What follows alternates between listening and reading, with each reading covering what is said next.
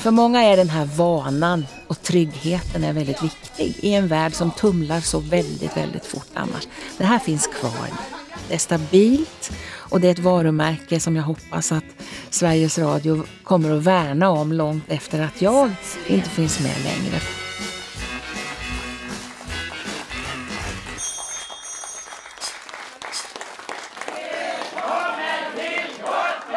Ja, så är det! Innehåller komponenter som är oerhört mänskliga. Du pratar på ett socialt och trevligt sätt. Vad ska du hitta på idag? Jag hade tänkt att jag skulle åka ner till Tosteberga ängar i Blekinge. Jaha, se där ja. Det är rena skolningen i hur man umgås på telefon. Och sen har du då frågesport, du lär dig något. Chile. Ja, men det är ju rätt! Bra! Och så får du en väldigt blandad musik. Och det är en styrka också när lyssnarna får önska den. Petra Eklund kommer från Hovmantorp. Du är en trogen lyssnare har vi förstått. Jajamensan, det är standard varje lördag morgon. Det här är ju faktiskt svenska folkets program. Det är svenska folket som är huvudpersonerna i det här programmet. Och då är det klart att det är roligt att komma ut och möta dem på de platser de finns. Kära Kerstin, du går rakt på helchansen. Och om du klarar den så går du hem med en sån här fin glasbåt av Bertil Wallin. Det var ju jätteroligt. Fast jag blev lite tagen på sängen. Mm. Producenten är ju den som ska hålla ihop hela produktionen hålla det övervakande ögat.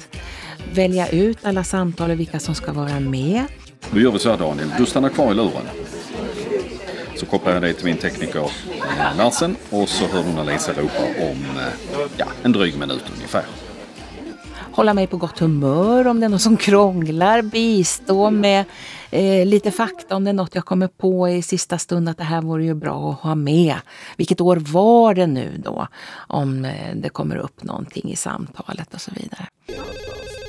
Så att du kommer med God morgon och välkommen till Ring så spelar vi. Det här är Mikaela. Har du någon låt du vill höra i så fall? Hejsan, sa du Ulla? Ungefär 150 samtal hinner de ta in av uppemot 10 000 som kan ringa en lördag. Så det finns en sån här slumpgenerator så var tionde åker fram till Slussen ungefär.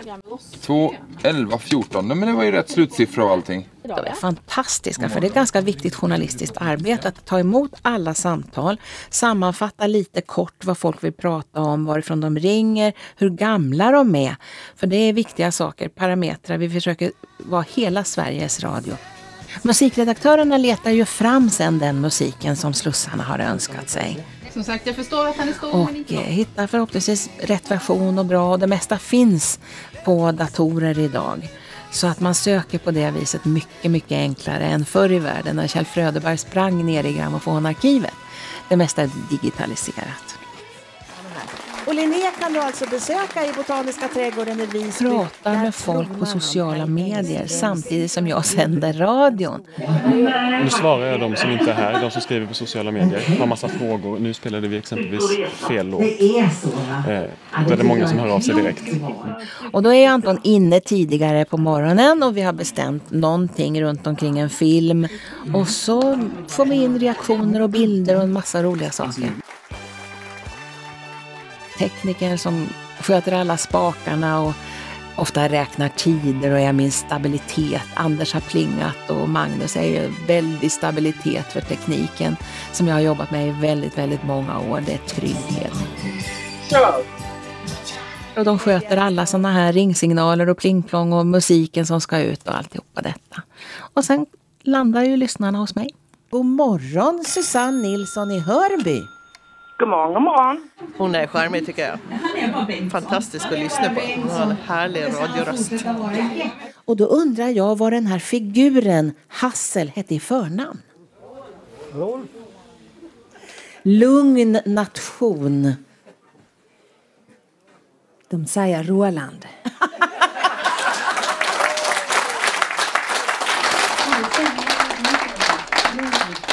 Jag tror att människor av idag har faktiskt väldigt stort behov av de här lägereldarna. att samlas runt och känna att nu lyssnar vi på samma sak och vi delar musiken, jag kan påverka och jag kan lära mig någonting. Det, det tror jag är en förklaring till att programmet står sig så bra fortfarande. Tack för att du kom. Ja, jag känner bara ett stort hjärta. Jag hoppas att det får vara kvar eh, så länge som det bara går. Nu!